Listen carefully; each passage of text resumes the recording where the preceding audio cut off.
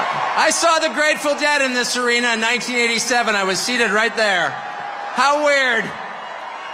It's, it's so, it's such an honor to be here, and it's wild.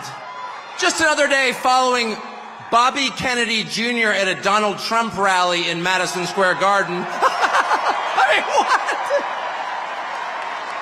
That's totally normal.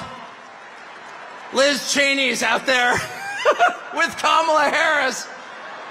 And there's Bobby Kennedy calling to protect women's sports at a Trump rally. It's a realignment. It's unbelievable. And it, the fact that it's here is even sweeter. Imagine if you're, and just pause for one moment. Imagine you're Donald Trump. You're from New York City. You become famous in New York City. You make your fortune in New York City. And all of a sudden, the leadership of New York City decides they're going to destroy you because they don't like your politics. And so they yeah, boo. Imagine if that were you, though. And they try and take everything that you have, they try and put you in prison, they try and put your children in prison. If that happened to you, how often do you think you'd be going back to New York City? How about never? And yet he's here. It's like getting thrown out of a bar. And you think to yourself, well, you know, all my friends are in the bar. And you approach the door and there's the bouncer like, you're not allowed in here. But from behind the bouncer, you hear the cheers of your friend, come on in! And the bouncer hangs his head in shame. Ugh. He's embarrassed that he's working for the man trying to keep the most popular person out of the bar.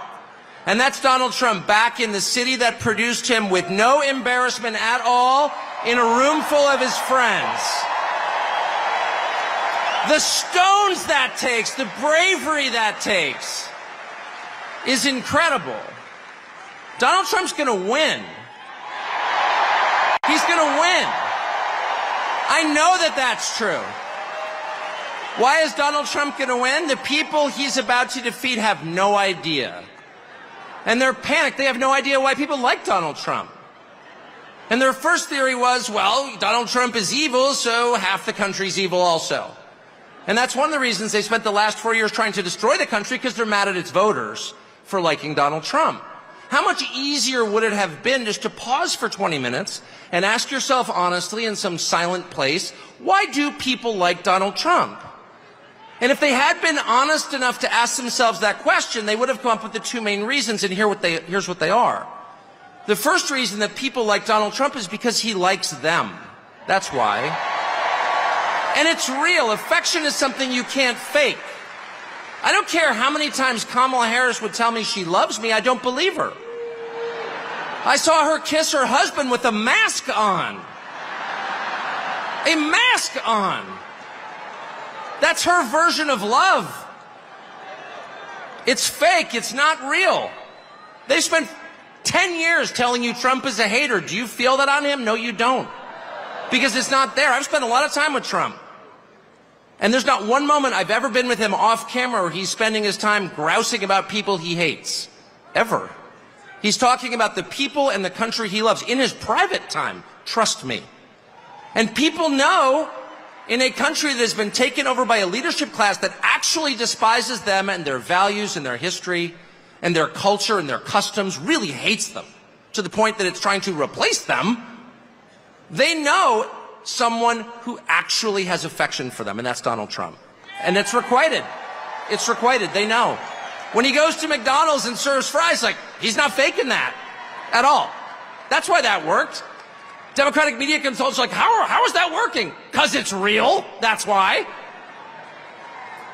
And the second reason that people love Trump, and I put myself in this category, it's why I'm here today, is because he's liberated us in the deepest and truest sense and the liberation he has brought to us is the liberation from the obligation to tell lies. Donald Trump has made it possible for the rest of us to tell the truth about the world around us. And that's the single most liberating thing you can do for people. If you want to enslave people, if you want to degrade them, force them to tell lies. And they have.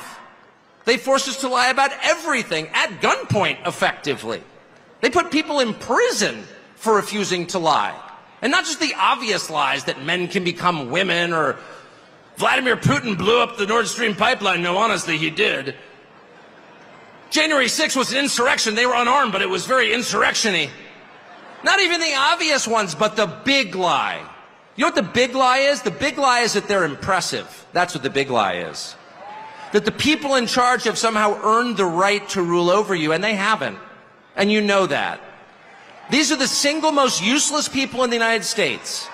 They have no skills whatsoever. They've got three quarters of the money and they didn't earn it. They set up a system precisely for the purpose of awarding themselves wealth and power when it's undeserved.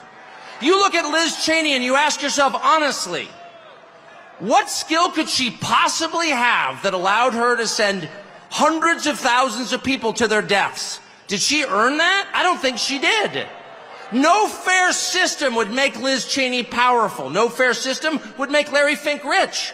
No fair system would elevate someone like Kamala Harris to a presidential nomination. She's never been accused of doing anything useful. She has precisely no achievements. She's a nominee without getting a single vote. She is a metaphor for the system they created to make themselves rich and powerful, and then they have the gall to lecture you, the people who can actually change a flat tire and repair a power grid, who have useful jobs, who pay your taxes and work 40 hours a week, lecture you that you are somehow immoral. And Donald Trump has empowered the rest of us through mostly just sticking around in the face of their hate and abuse and persecution. He has given the rest of us the right to call BS on the charade. No, you are not better than us. No, you are not smarter than us. No, you do not deserve what you have. You probably stole it. No, you're not going to bully me into silence anymore. And I can promise you at this point, nine days out, when Robert F. Kennedy Jr. and Elon Musk and Tulsi Gabbard and pretty much every high school senior and college shorty girl in the country has come out finally say, yeah, I am for Donald Trump, actually. When the entire country has realized there is nothing embarrassing about this, what's embarrassing is to take a perfectly great country and destroy it, as they have. I'm not ashamed. You should be.